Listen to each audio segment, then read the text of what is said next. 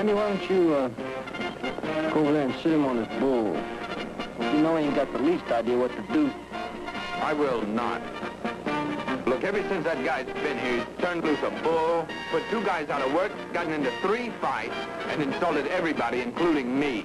Now you tell me why I should make a two-inch detour to look after him. Well, if you don't know, I sure can't tell you. That's no kind of argument. You always say that. If you don't know, I can't tell you.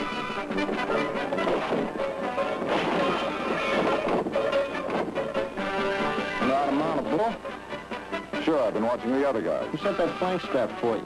I didn't have nothing else to do. Give me a hat, Pee-wee. Can't rodeo without a hat. Maybe this will bring you luck.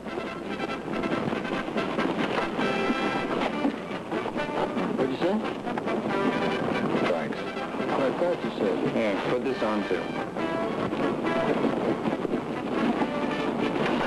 You know, it's a funny thing how natural mean these flamers are. Where they kick high behind and they throw their horns up try to hook them and going over.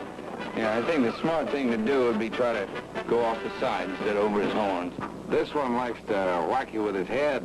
Yeah, but he spins to the right. Usually three jumps, then a quick spin.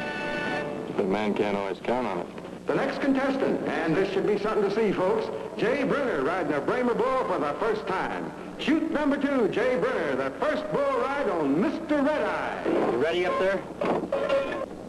Yeah, okay, I'm ready. Out.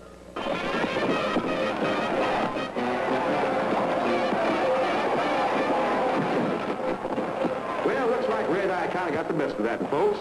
Hope to see you back, cowboy. Better luck next time. Would you